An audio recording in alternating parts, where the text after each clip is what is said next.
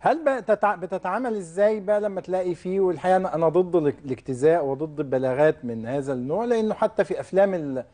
ال... ال...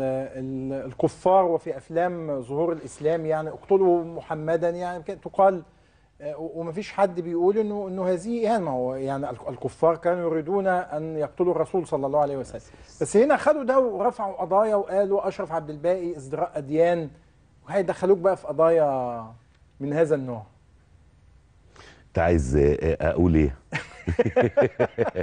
لا هو مبدئيا بس أنا عايز أوضح جزئية. يمكن من فترة وقت ما كان الموضوع ده مثار آه، كلمني فريق الإعداد من عند حضرتك قالوا آه. لي تعمل مداخلة عشان أستاذ وائل هيتكلم في الموضوع ده. قلت لهم أنتوا عايزين تعملوا موضوع على حاجة زي كده؟ يعني أنتوا بتدوروا تعملوا موضوع ويبقى فيه الرأي والرأي الآخر ويتفتح موضوع. هل ده موضوع ينفع نتكلم فيه؟ فقالوا لي فعلا عندك حق. فأنا فوجئت دلوقتي انهم ما نسيوش. وجابوا. الموضوع وجابوا الموضوع وقدموه. ما- عموما هي دي كانت الأسئلة- ما تاخدش الأسئلة دايما يا أستاذ أشرف على إنها آم، ما هو إحنا في حياتنا هو ممكن فريق الإعداد يتغير مفيش مشكلة. لا لا لا لا لا. تصدق. أنا أنا اللي بأدير كل شيء يعني ما. بسيبش نفسي. يعني عموما آه يعني أول حاجة أقدر أقولها آه لا إله إلا الله سيدنا محمد رسول الله. آه لا أول لا حاجة. تاني آه، حاجة يعني بقولها و- تاني حاجة وكأنه مطلوب بقولها منك إنك تثبت إسلامك. من أنت. مم. وهل في قضية؟ هل فريق الإعداد مع حضرتك سأل إن في قضية ولا ما فيش قضية؟ صدق ما فيش قضية. عارف المسرحية دي سنة كام حضرتك؟ آه. 2013 مم. عارف دي للمرة الكام بيتعمل الموضوع ده لاجتزاء بياخدوا جزء صغير؟ عارف لو كملوا بس 10 ثواني كمان هتبان الرؤية بس هم ما كملوش 10 ثواني زي دي زي اللي إحنا شفناه. ده مش مم. متكمل فيه ل 10 ثواني. اللي بيحصل إيه؟ المسرحية اسمها كواليس. مم. أنا والممثلين مش عارفين نعمل إيه.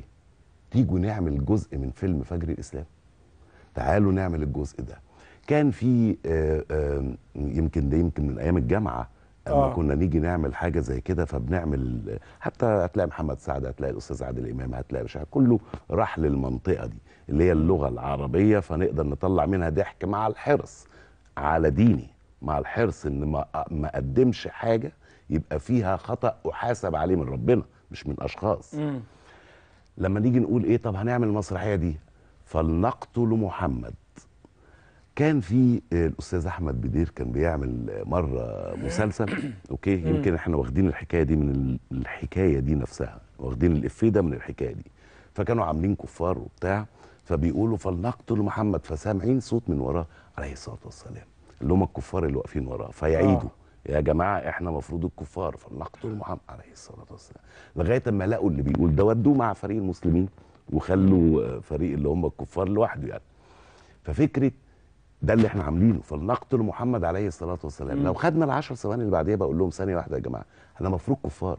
المفروض إن إحنا ما نقولش عليه الصلاة والسلام. فبيقولوا يعني نكفر عشان نعمل آه، مسرحية زي كده. أقول لهم فعلا يبقى بلاش. تعالوا نعمل مسرحية تانية. مم. تعالوا نعمل مسرحية ثالثه مم. ماشي اللي هي آه، مسرحية اسمها كواليس اللي هي من الموسم الأول لما كنا تياترو ده آه. سنة 2013 آه، آه. تحديدا في 2013 أثير الموضوع 14 أثير الموضوع 15 أثير الموضوع لغاية 17 الموضوع بيثار مرة ليه؟ فضى طب أنا ما أنا ما أثرتوش في 13 على فكرة آه. ولا 14 ما عشان ما كانش واصل لك هو وصل لك 16 طب إيه إيه بتاخدها ليه بحساسية؟ ما يعني هنا يا جماعة لا أنا حساسية للموقف مع البرنامج فقط لا، مش حساسية الموضوع نفسه لأن لما بقول لحضرتك الإعداد كلمني وقت ما الموضوع ده أثير للمرة لا بس أنت خدتها برضه. بحساسية مع محمد شبانة مثلا ابن عبد آه، آه، في في موضوع عبد الحليم الموضوع ده؟ وقلتوا أنتوا عايزين ده موضوع تعملوا تاني وقلتوا إيه أكيد أنتوا اللي سمعتوا محمد شبانة في الحلقة. والله محمد شبانة اللي كلمني وقال لي عجبك إهانة عبد الحليم حافظ. وكلمته على فكرة. ادخل يا محمد آه. وطلبتك على التليفون. يعني هنا القضية بس يا أستاذ أشرف مش مش يعني ما هي, ما هي قضايا بالفعل يعني. ما هي قضايا ازدراء الأديان تلاحق الجميع ويمكن أن تلاحقني فيها. ممكن حد يشوف اللي أنا عرضته ده ويقول لك إيه ده؟ عرضوا على الشاشة قضية ازدراء أديان يعني. لكن هذا ده اجتزاء ومفيش فيه آه، إساءة آه، وبالتالي يمكن إنك توضح ده بشكل ووضحته بالفعل. مع إن ما كنتش محتاج إن أوضحه.